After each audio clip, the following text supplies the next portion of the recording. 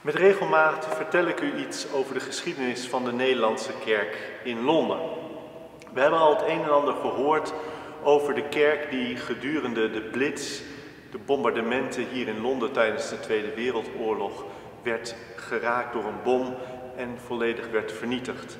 Na de oorlog moest het kerkgebouw worden opgebouwd en daar was men druk mee bezig, maar men bedacht ook, belangrijk voor een kerk is het orgel.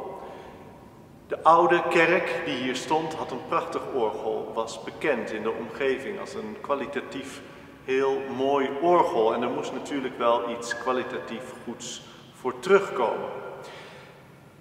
Maar dat was kostbaar. Ze hadden al snel een orgelbouwer op het oog die hier in deze ruimte een prachtig orgel zou kunnen De Nederlandse orgelbouwer Willem van Leeuwen.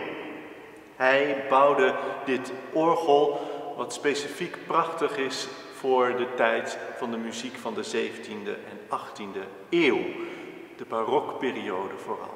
En daarmee is het een uniek orgel hier in het Verenigd Koninkrijk van Nederlandse makelij.